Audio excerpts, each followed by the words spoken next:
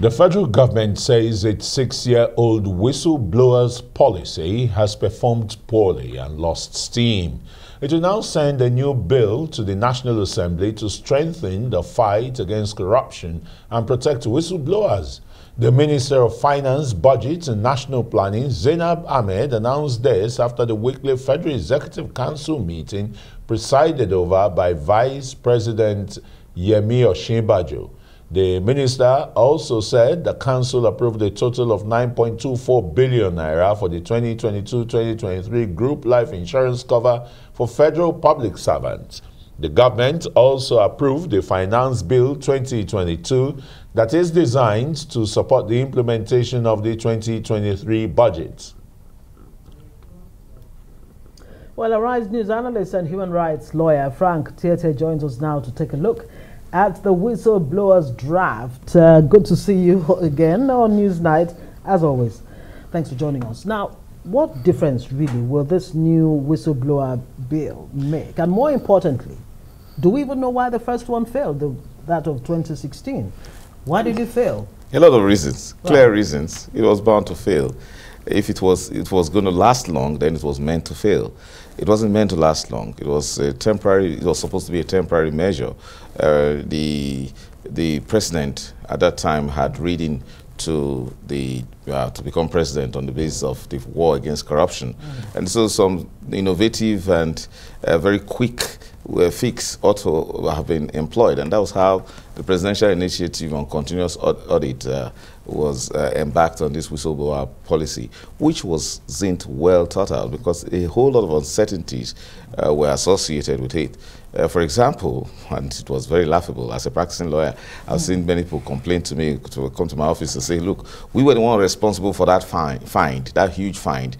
And then they said, when we told them, they, they took all the details from us, and then suddenly came back and told us that someone else had come before us.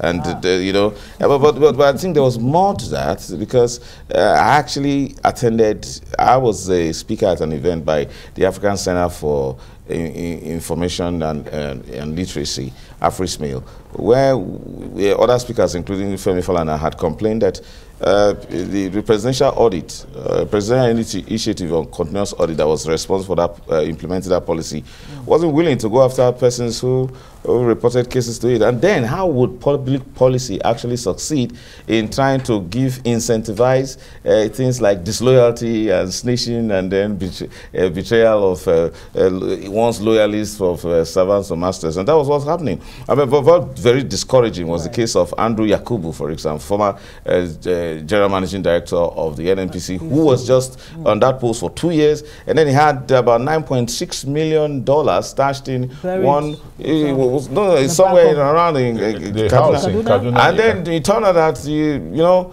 when eventually he went to court, he was taken to court. The FC took him to court, and then went up to the uh, court upstairs, court of appeal. He was found uh, innocent. He was discharged. So what would have happened to the, to whistleblower? The whistleblower?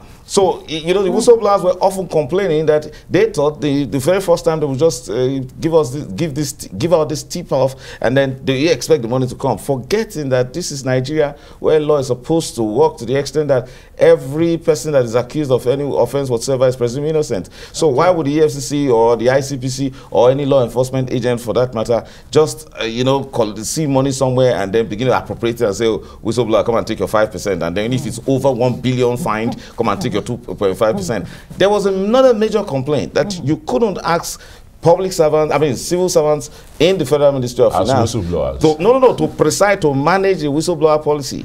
You say, look, who is going to be reported? We're supposed to have whistleblowers blowing whistle on those guys right. in, the, in the ministry. Mm -hmm. So suddenly they're not going to manage it. How do you expect civil servants to manage it and then it will succeed? Mm -hmm. So those were the submissions that were made. Then where is it? It, it was like that law was even... Uh, it wasn't a law, it, was, was the policy. Arrival, yeah. And uh, then where is the um, position of the Auditor General? Of the federation, those people in the audit room, you know, if you're creating a whistleblowers policy, these are the people who are supposed to do the financial checks and balances. No, no, no. The principle of audits may be different, not necessarily uh, anti-corruption, but mean compliance to uh, uh, financial regulations. Yeah, it's what I'm saying. And, the moment it is they actually don't what you comply give to, to, it, the auditor that he actually uses, and then he makes a report, gives his report to the president with regards to compliance and non-compliance, and then things can take. So the auditor general can actually be excused. But we're talking about anti-corruption policy of this of a government, which is whistleblower. It failed for many reasons. Uh, You know, the, the, the Honorable Minister of Finance in her submission was referring to the fact that it may have failed because whistleblowers were not protected enough. That's not true. Nigerians are daring and they, they're But were daring they people. protected enough? Where the, the, were they at risk in the first place? Because you saw, I saw, I, I saw whistleblowers and they willing to, uh, to come on air, willing to make publications. Said that find I was the one that was responsible. In fact, I had cases uh, that uh, where those whistleblowers presumably wanted to be in court to argue that they were the ones that gave that information that led to such and such a fine, and that they are expecting that five percent, and somehow, somehow, the people operating the the the, the, The policy. the policy were corrupt themselves, and then there were a lot of complaints. So again, Nigerians are not those kind of persons that will really want to trade off their brother or sister or their big boss because of money, of- unless they are disgruntled. Well, uh, was that uh, could that be said to be the case of the accountant general of the federation with over 90 billion that EFCC has recovered a third of that amount, and uh, the chairman of EFCC is saying that hey, look, we can't be compromised. Nobody. Yeah, I know, but, but like, give it, give it, give it to EFCC and particularly this present EFCC. It's doing marvelously well. Uh, it's not, uh, and it's doing it qui- uh, quietly without all the fanfare of uh, trying to get some media hype all the time. So I think this quiet achievement on the part of the EFCC it's commendable. But there is a but. We should take a look at, you, you know, no, no. I, I think we should move beyond this idea of whistleblowing. Probably won't work, but we should talk about, you know, preventive corruption. I mean, let's prevent corruption. You know, let's not let's not have ICPC, EFCC, and all of these law enforcement uh, agencies together, and then we sit back and allow one man to misappropriate 109 billion naira, and we failed. The, So the- is all there's a need to change the system itself Yes. that allows for Yes. people to, you know, For uh, one man. Yeah, we need serious compliance to financial regulations and then there needs to be clear cut uh, you, you know policy that enhances uh, transparency that doesn't happen you see this is a where is is that a- supposed to even start from? I think it's a clear indictment on our public service entirely. When you can't find a situation where some group of persons will sit down and just, you know, misappropriate, corner that kind of money into their own private uh, pockets. You know, so let's hope that um, our uh, prosecutorial agencies will act in such a manner that will now make actual accomplices to now come out and say, "Hey, we were part of those who stole that money," and uh, so and so this guy got this and this guy, and we had that case in the case of Musiliu Banikoro, who actually came out and said, "Hey, you know, I worked with the former NSA, uh, uh, Sambo Dasuki, and we got I got actually, fa- uh, you know, facilitated 2.2 billion uh, transfer to Ayo Fayose." He went to court to say that. And then, we, you know, Nigerians need to be kept abreast with all of these. These are things that happened just here in 2019. So it, it- it's such a matter. How did Obanikoro turn around to move against his own party man? These are prosecutorial, uh, you know, skills that can be used when you say, "Come, come. If you, we offer you this, you can keep a part of this, and uh, you may not go to jail, but tell us the whole truth, and yeah, then but I can wonder nail how that will really deal a, a big blow on corruption at the end of the day. But Zainab Ahmed, the finance minister, says